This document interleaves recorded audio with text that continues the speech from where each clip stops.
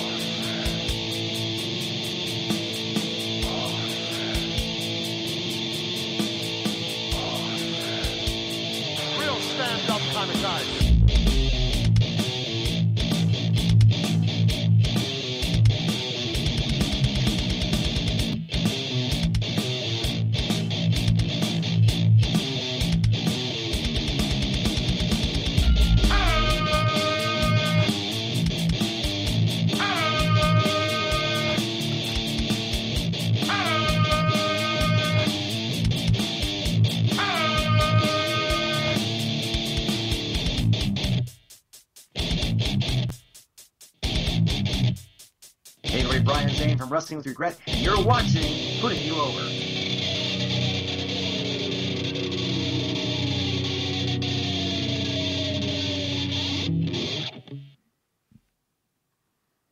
Hello, everybody. I am El Stander, Lucha Libre streamer, and welcome to uh, La Putting You Over, I think. Oh, all right. Let's get over to our guest. Once she connects to her audio, I'll give her that time. Yeah, I think Uh, she- is it connected? yeah, you're good. You're good, and we're live. Look at that. All right. Look at that transition. How are you uh, doing on this fine, uh, whatever night it is? This pandemic's got me lost. This Tuesday night. Right. I think it's a Tuesday. Um, yeah. yeah, I'm doing great. So uh, just had a physical and getting some pizza and heading back home. No, So Jeez, I could go for some pizza. We're di- uh, I- uh, we eat a lot of pizza here lately. It's easiest, but I think I had some on Sunday. Um, in your physical, I assume is for uh, what you got going down this weekend, right? It's this weekend, right, Vanessa? Yes. Yes. So I would assume. Did she freeze on us? She froze on us. Well, I, I'll answer for her. So No, can- no, no. Oh, uh, there she yeah, is. it's it's for if I do freeze on you, I'm sorry. Oh, it's Um, okay. Yeah, it's for physical. Uh, I mean, it's weekend um, to get licensing and stuff for different states to wrestle. Uh, some states have a commission and you get blood work and physical done so that um, you can wrestle in the states. So that's it. I'm good to go. You're good to go. And uh, we'll definitely touch on that match because I believe one of your opponents for the Jerry Lawler 50th anniversary is somebody we've had on this show twice. And uh, so we'll definitely get to that. But you are now, I believe, Vanessa, this will be our third, second generation. Well, I guess fourth if you count the, the Von Erich brothers, both of them, and Pillman. So our fourth, second generation wrestler on the show, and we couldn't be more prouder. Um, your father, Terry Bam Bam Gordy from the Freebirds. Um, so growing growing up, um, was what was it like growing up with somebody of that stature? Not only physical stature, but that stature in the wrestling business. Um, I, to me, he was just a dad. Yeah. You know. Yep. Uh, I didn't see him as like a Hall of Fame or anything. Um, obviously he wasn't back then, but he was just the guy that picked me up from school and was there and did dad stuff.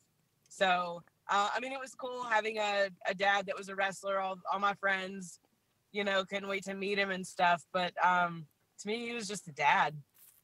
Did he take you to like birthday parties? Like I could see him walking into like a, know, like a roller skating pizza party and putting on skates. Did he? Did he do those type of things?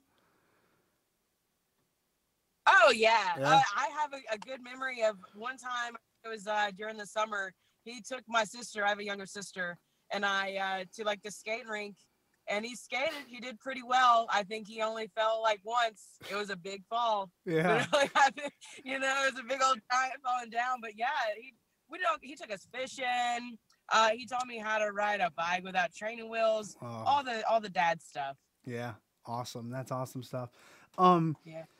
Now you you've been I think this past August, um, if I'm correct, probably was your two year in ring anniversary. I think you've been been uh, in the biz, I guess, uh, working wise for about two years or so.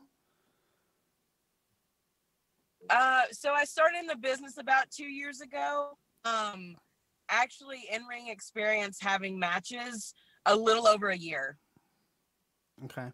And um so what what I mean to me I always assumed the children of the people I watched wrestling uh were just always going to be gung ho this is what I'm going to do uh th- I'm following in their footsteps. Wh- what what took you so long I guess to to come around to go into this? Um, just it, it wasn't. I I liked it as a kid. Kind of fell out of it as I got older. Obviously, my dad passed when I was 11, so uh, I just didn't think that that would be, you know, the route that I would take. And I was into like animals, so I kind of wanted to like either gear myself towards animals. And I got a little bit older, and um, I found psychology, and I actually went to college doing that so wrestling wasn't a thing. Like it was my dad's thing, brother's thing. I have a cousin did it. Just wasn't mine. And uh, growing up, you know, women were. It was kind of more TNA. It was Right. like the you know the divas Yeah. and stuff. Like you had Sable, which I loved. I thought she was just absolutely gorgeous, and I looked up to her as a kid. But I was that type of girl, you know. So I was like, this just isn't for me. Um, now we have the women evolution stuff going on, and women are being seen as equals and athletes, and so I think I'm getting a, a like a great time. Yeah, I couldn't agree more. Um, I'm a father of three daughters. Vanessa is a mother of two, and uh, it's it's like my daughters love watching wrestling with me, and I'm ha- I'm proud to show them the women wrestlers today. Yourself, uh, Tessa Blanchard, uh, Allysin Kay, uh, Thunder Rosa. Um, I, I'm just honored that th- that they get to grow up with this type of portrayal for women wrestling, as opposed to nothing against those. They had their purpose then, but anyways. But you mentioned something uh, that I, I just wanted to to say quickly. When I was researching for you, I never realized that your brother uh, was Jesse from uh, Festus and Jesse in the WWA. It didn't even uh, occur to me, and uh, so that that's cool. Is he? He's still in, he's a lot older than you, I would think. He, He is 10 years older than me. Um, but uh, he does not wrestle anymore. He's actually a police officer. Uh, so, yeah, um, you know, after he left the WWE, he did the Jesse and Festus thing and Yeah. he left around uh, 2010. And, uh, and he became a police officer, like drug task force. So, uh, you know, some, some pretty cool stuff yeah, he does now. So, that's awesome. yeah. Um, do you guys ever just like talk shop about wrestling? Does he? I'm sure he gives you tips, and he's big help now. Oh yeah, yeah. Uh, I talked to him and I talked to Michael. Um, you know, Michael was like uh, a dad, you know, replacement, I guess, or not replaced, but uh, Yeah, did what he could as Yeah. like a godparent. Um, but yeah, now that I'm in wrestling, like my brother and I are super close and uh, closer than ever. Um, and he'll help me. Like I'll send him matches, and uh, I actually plan on going down um, next month and maybe just hanging out with him and doing some training and stuff. Just just to do it, you know. yeah. Um, before we get off of um, we, we get onto your training and and all, what you're doing in the ring.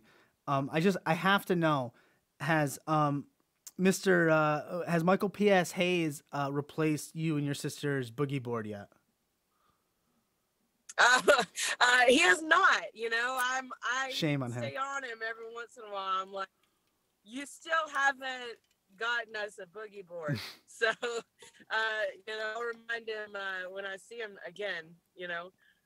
Um, we we have a question in the chat that's going to help us transition well to your in ring work, and it comes from uh, Bob, and he wants to know because you mentioned psychology. Uh, you got into that, and he's wondering if your uh, background in psychology plays into your in ring style and how you put together a match.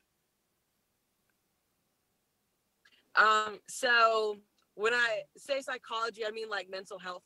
Okay. Um, so like like a counselor, psychiatrist, um, which I'm sure in some you know instances it could go hand in. But uh, as far as like in ring psychology, I learned all that in training, you know, and and uh, still learning it, still perfecting it.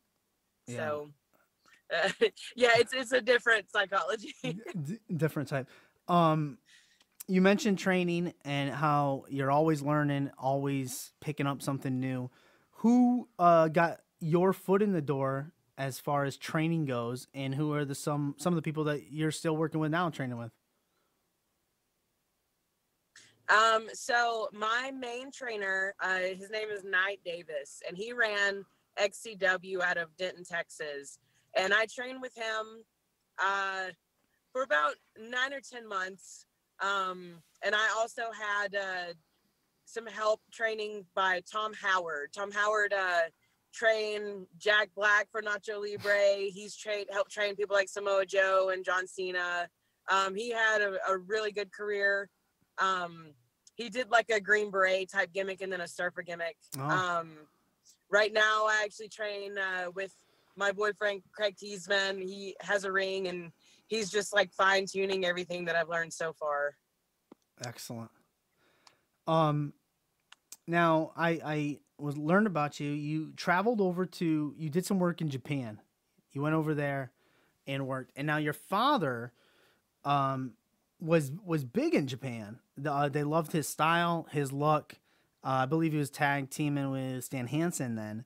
Um, what was the experience like for you in Japan, and did it, uh, like expand your grasp of basically the impact that the Freebirds and your dad, in specifically in Japan, had on this on this business?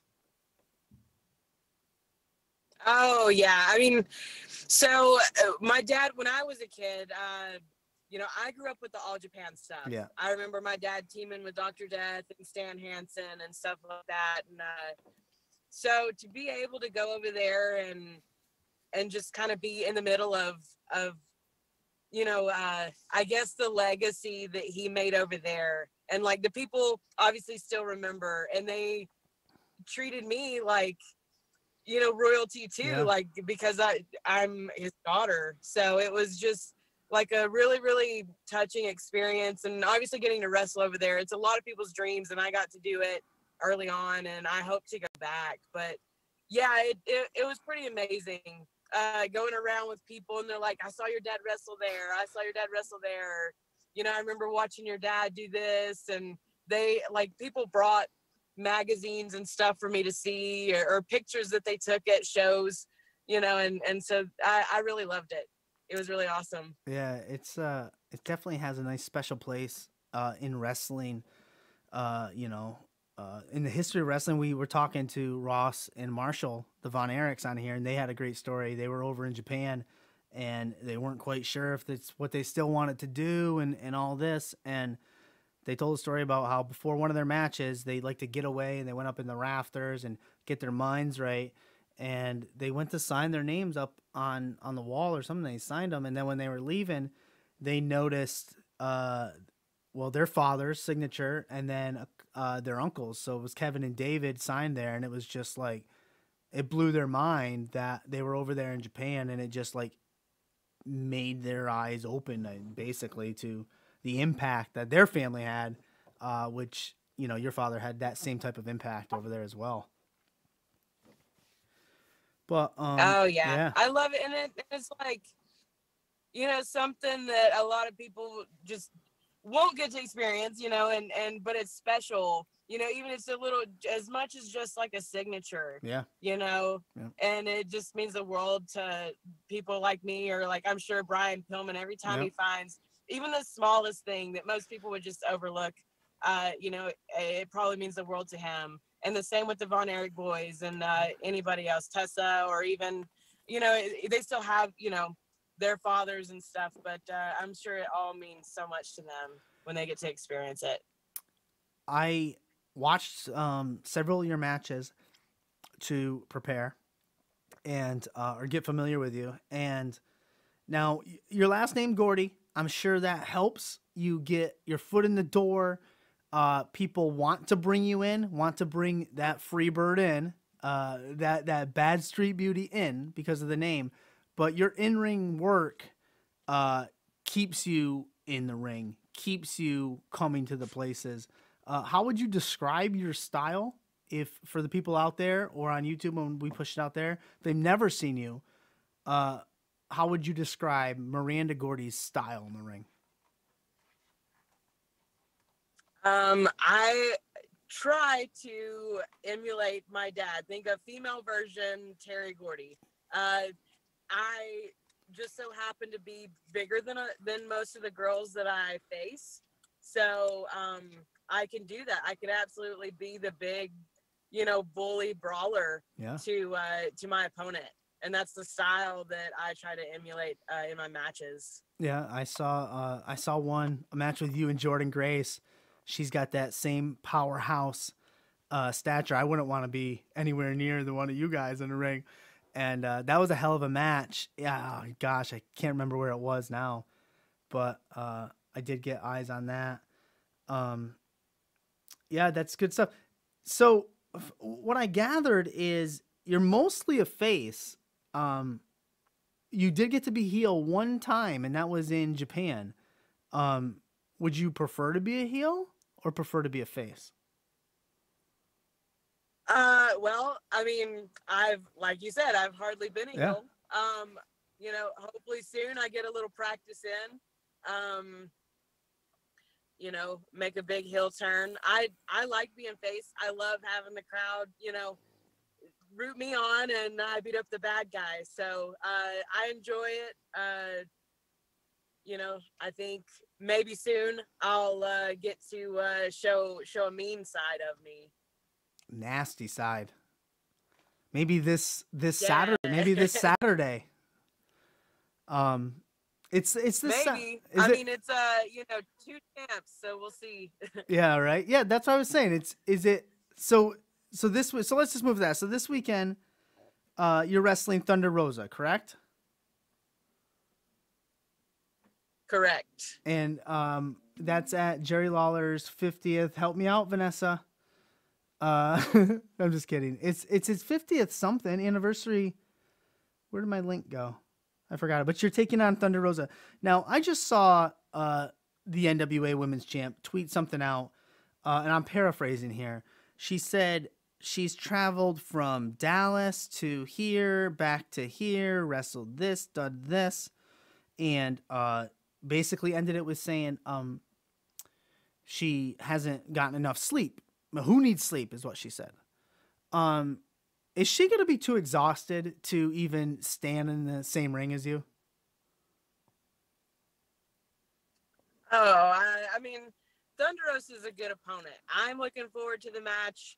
Um, she is a great competitor. She's someone that I have looked up to, and uh, uh, since I started, you know, back when I was just getting the business and stuff, because she was on the Texas Yep. scene, and I was starting to get in the show stuff. Um, however, uh, she should probably take a nice long nap and rest up for the match. So, because I'm gonna bring it, you know, I'll be well rested and I working out every day and everything. So, uh, you know, Yeah. hopefully, hopefully she brings it. I want her to bring it. Yeah. Awesome. Um I I think I, I I never like asking the question where do you see yourself? What are your goals? Um but I, I'll ask it to you like this. Um I I think you have a ton of potential. Not only because you have your last name Gordy, but because of your in ring work and and the way your look is is what appeals to me. I like that that strong powerhouse, that Chyna, uh, Jordynne Grace type look, Beth Phoenix, um, in the ring. Uh, which promotion? Let's take uh, we'll take like the WWE and AEW, NWA, uh, MLW. Those promotions. Which one would you see yourself fitting best? Um, you know, every time I, I get asked this, obviously uh, the WWE is the top. Um, you know, I, I have family there, uh, but I think the best all around, you know, would be WWE. But I think that I could see myself anywhere. I would absolutely take uh, any show in Japan, any Yeah. take because because it was just so cool over there and so different. I would take any show over there. Uh, sign me a contract to a house show. I'd totally do it. Um, but AEW is on the rise too, so I think that um, I could see myself have a great schedule. They have a lot of indie people coming up, and they're helping them make their name, and so I, I, they're doing a good thing. So I think that I could just blend in here, Yeah, honestly. yeah, But I got if I had to, we'll say WWE. yeah. Um, I was thinking the first thing that came to my mind um was MLW, and that's because the Von Erichs are there, and uh, Pillman's there as well, but they don't really have a women's Smith division. Jr. Uh, What'd you say? Smith Jr. Smith Jr. That's right, and every Laparca, um, Yeah. the Los Parks, but they don't have a women's a women's uh division as far as I know. Um, so, They were working on it and then COVID hit. Mm, damn pandemic. Ah. Oh, get this again. Uh, Impact. Someone brings up in the chat. Impact would be good. I that would be good because their their women's division is right up there, right now with uh, NXT slash. Oh yeah, they have, they have a pretty good women's division. Impact does. Yeah. Uh, yeah, I- mean, I would totally work for MLW. I know that they have they have the Von Erich boys and stuff, and uh, that would be a great company too. But Impact's uh, women roster is doing pretty well. So, like I said, I mean, Yeah. Yeah. there's there's not like a specific one. Be happy to do any of it, really. for sure. Um, we uh, we we were mentioned the the pandemic there for a quick second. Um, oh, Bob, Bob in the chat wants more of you versus Jordynne Grace. That that would be a nice little feud. Um, during this pandemic, I I like this question a lot. Um, because it, it brings a silver lining, I guess, to the crap. But um, have you learned any new talents during uh the pandemic that you can y- use in the ring or out of the ring or anything? Um, so I never really stopped uh with the wrestling. Oh, that's as soon cool. as everything shut down, Yeah. I yeah, I, I think we gave it like two weeks.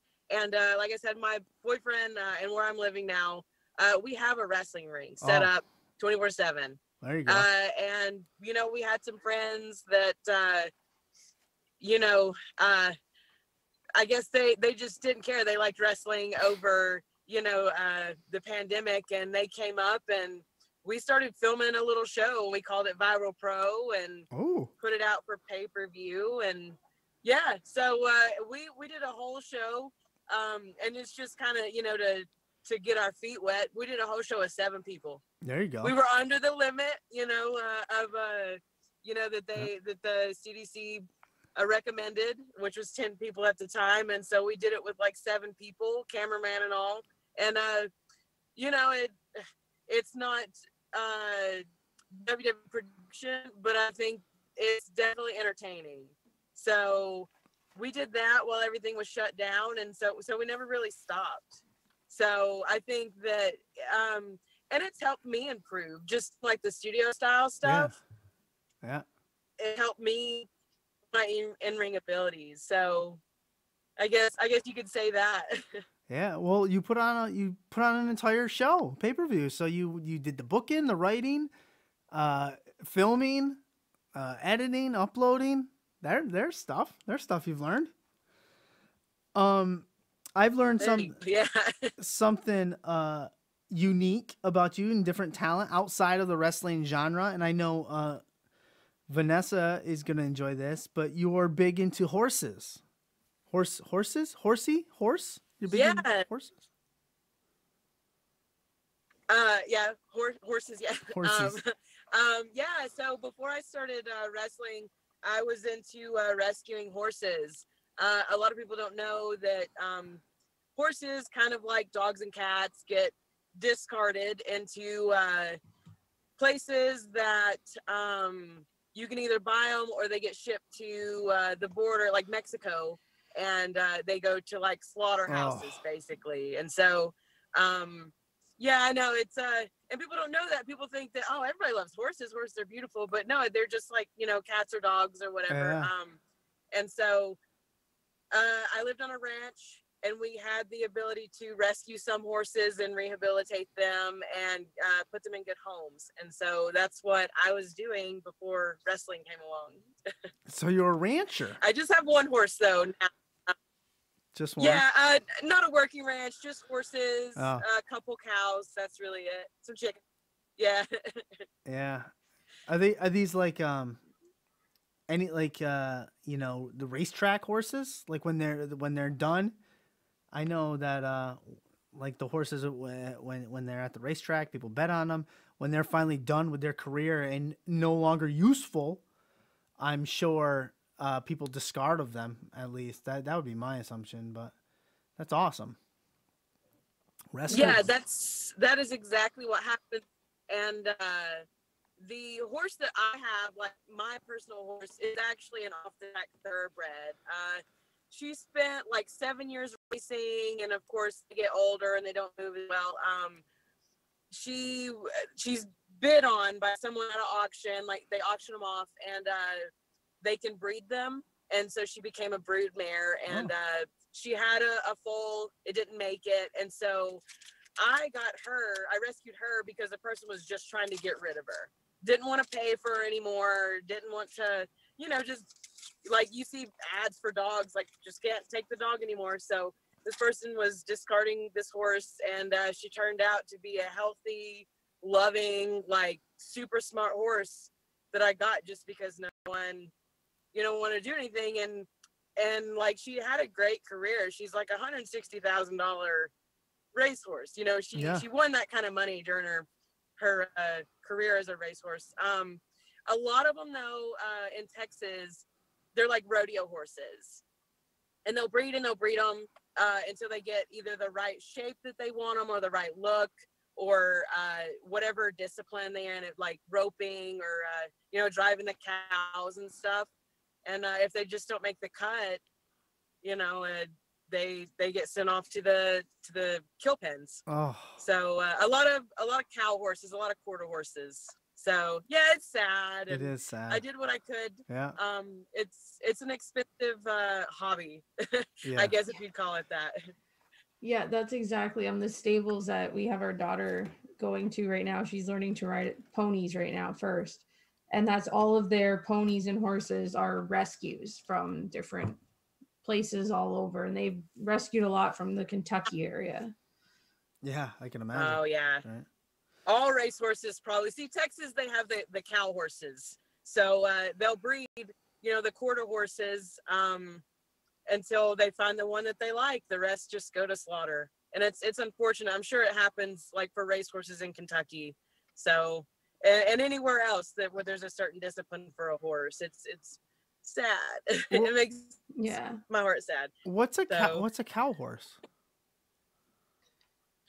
Uh, horses that with cows. So like uh, different uh, disciplines, all the rodeo stuff, roping, cutting. Oh, Uh, okay. All right.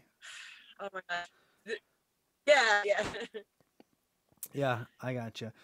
Um, anyways, Miranda. Um, before before uh we let you go here, uh, because I know you you you want to get to that pizza. I I don't know about you. I want to get to pizza now, but um, before we let you go, what we do at the end of every show is I'm going to give you a mic now. You can put over anything you want. You let us know about your your match coming up this weekend, uh, and how you're going to give one of those classic Gordy clotheslines uh, to Miss Thunder Rosa. Um, the floor is yours. Okay, yeah, I'm gonna obviously pull the classic clothesline. I'm gonna give Thunder Rosa a big bam bam slam.